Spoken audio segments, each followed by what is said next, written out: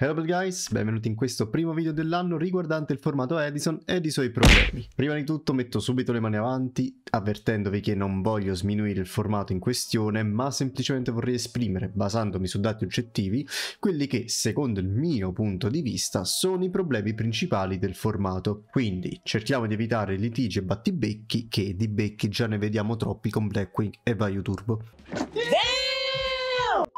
Per chi non mi conoscesse sono uno YouTuber o per la precisione uno Yugi Boomer che tratta principalmente argomenti Time Wizard con profile ma anche unboxing di prodotti vintage ed in questo caso analisi del formato Edison. Potrebbe sembrare persino controproducente dato che Edison è fra i contenuti principali del canale ma proprio per questo motivo e perché è anche un anno pieno ormai ho dedicato al formato posso fare le mie considerazioni e infatti secondo me sono emersi alcuni dei problemi a cui abbiamo dato meno peso perché colti dalla nostalgia sicuramente ma soprattutto perché il formato Edison potremmo definirlo un formato prematuro perché è durato poco ai suoi tempi e non esplorato abbastanza.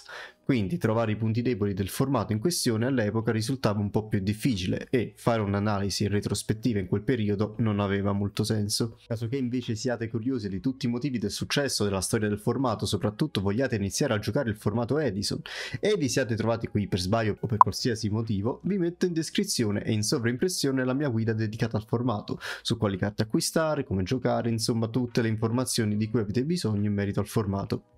Uno dei fattori di successo di Edison è la varietà che, però, frequentando meglio il formato, non è così tanto vario come possa sembrare, se si vede dal punto di vista agonistico, quindi quando si fa riferimento ai tornei di un certo spessore come qualificazioni regionali o nazionali, insomma eventi del genere. Con questo voglio dire che la varietà che il formato permetterebbe, e bisogna assolutamente riconoscerla, non viene sfruttata al meglio e che i problemi si hanno nella parte competitiva del gioco. Infatti, da questo punto di vista ci sono sempre gli stessi quattro mazzi in top per la maggior parte delle volte, ma anche delle partite in generale che sono Blackwing, Bio Turbo, Hero, Fragmonarch, a spam, in continuazione in un vortice nero.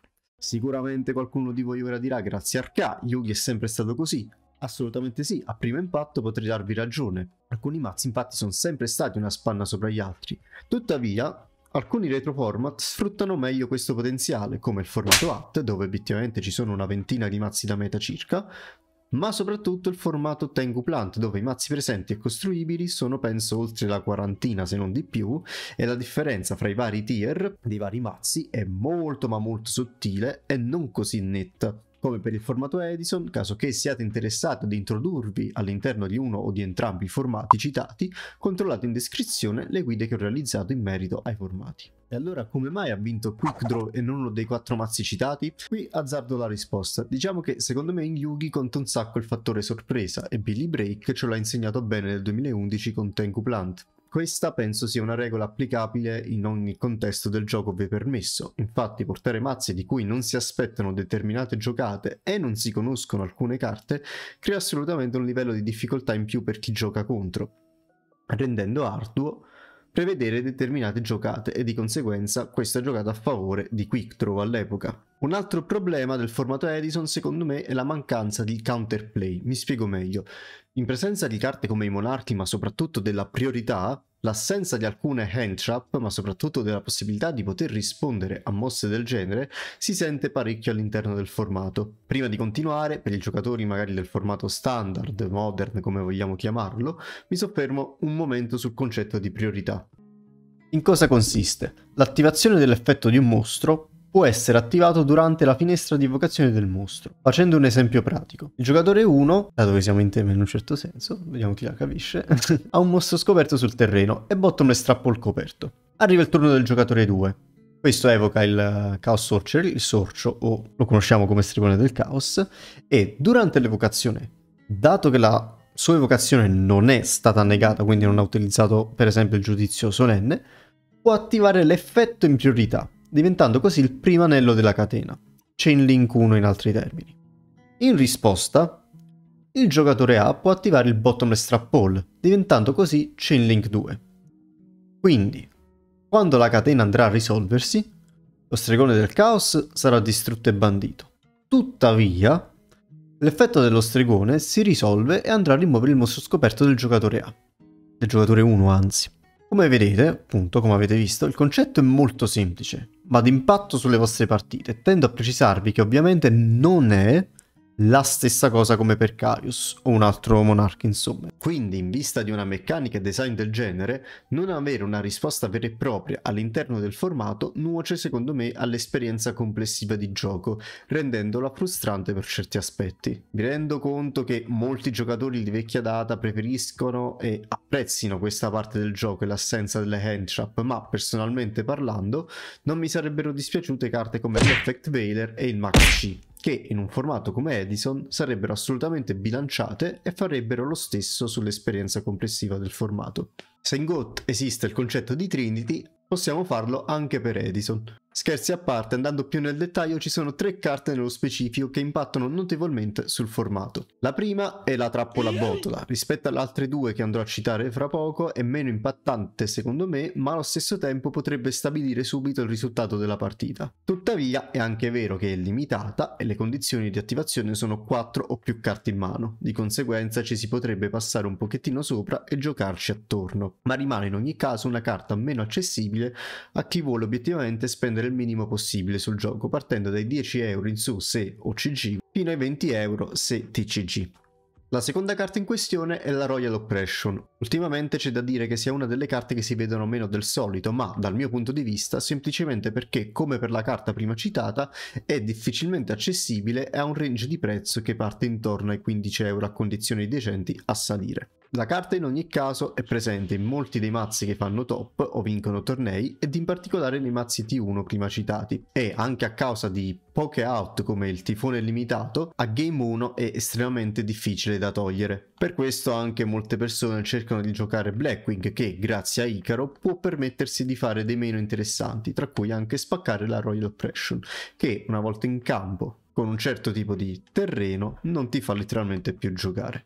Ripeto, alcuni mazzi come Blackwing, ma anche Vaio Turbo, possono sfruttarlo meglio. Perché Vaio Turbo? Perché semplicemente l'effetto di Vaio di rimuoversi non è costo, quindi puoi applicarlo a spam e abusarne, quindi teoricamente non potrai mai negarlo con Royal Oppression. O meglio, puoi farlo a meno che tu non sia un kamikaze. Evitando di divulgarmi troppo sulla Royal Oppression, per me la carta più ridicola e forte all'interno del formato rimane e sarà sempre solo una, ed è Brain Control. Letteralmente penso che la maggior parte delle partite le abbia perse per questa maledetta carta, soprattutto a top deck. Una carta accessibile, inseribile in ogni mazzo, trade-off ridicolo o, in termini più semplici, costo troppo basso per un effetto così devastante che permette di prendere un mostro scoperto ed obiettivamente farci quello che vuoi anche per fare, che ne so, un meno uno per un turno sul terreno dell'avversario e tendo a ricordare per chi non è esperto di Edison che difficilmente si hanno 4-5 mostri sul terreno, ma in ogni caso puoi attaccarci, puoi tributarlo, rendendo i monarchi ancora più forti in vista della presenza di questa, di questa, carta. Letteralmente penso sia la carta più forte all'interno del formato. Questo non solo è dovuto all'effetto, ma perché esistono appunto poche out, come dicevo prima, o hai giudizio solenne, corruzione oscura settati sul terreno, un Book of Moon o praticamente ciaone GG. Io ho questo ricordo indelebile ormai nella mia mente dove gioco contro Vaio Turbo, che novità, stavamo 1-1 in qualche maniera sono riuscito a vincere una partita e avevamo entrambi zero carte in mano. Io avevo un drago sul terreno credibile giocavo drago caso che siate interessati andate a vedere la mia deck profile sul canale. Per la precisione avevo il famosissimo Parmalat e stavo anche bello parato contro Mirror Force perché appunto il turno dopo avrei pescato una carta quindi avrei potuto anche eh, scartare per pararmi e tenere il drago sul terreno. Quindi difficilmente poteva andarmi sopra anche perché i Vaio erano tutti rimossi. Ad entrambi bastava letteralmente un attacco per poter vincere, avevamo circa 2000 life points se non erro, lui pesca, guarda la carta, poi guarda me e mi dice mi spiace, mi gira per incontro e GG. E vabbè, potreste dire, vabbè, ma ti basi su una sola partita? No, no, no, non è stato una volta, anch'io ho vinto varie volte. Nel dubbio, Brain più dat GG mio padre. Tralasciando i miei scleri quotidiani, penso di aver detto tutto inerente a quelli che secondo me siano i problemi del formato Edison. Scrivetemi qua sotto in maniera costruttiva se siete d'accordo o meno con quanto detto, ma soprattutto quali secondo voi siano altri problemi che magari non ho analizzato.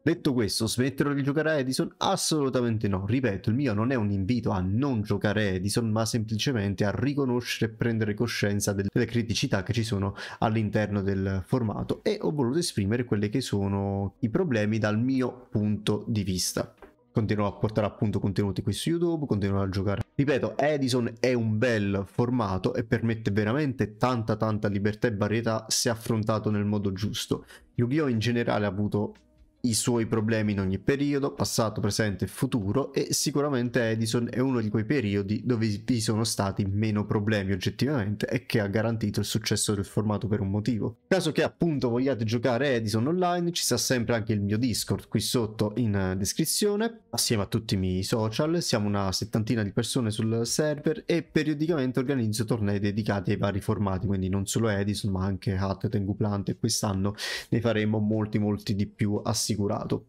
O semplicemente se volete consigli, aiuto o compagnia il server è accessibile a tutti quanti. Quindi io vi ringrazio per aver guardato il video fino a questo punto, vi ricordo sempre anche di lasciare un mi piace, un commento e soprattutto di iscrivervi al canale caso che vi piacciono questo tipo di contenuti. E niente, inauguriamo, abbiamo inaugurato quindi l'anno con questo video e ci vediamo presto a un nuovo contenuto che sia un unboxing o qualsiasi cosa inerente al Time Wizard o vediamo un po' One Piece per chi è interessato.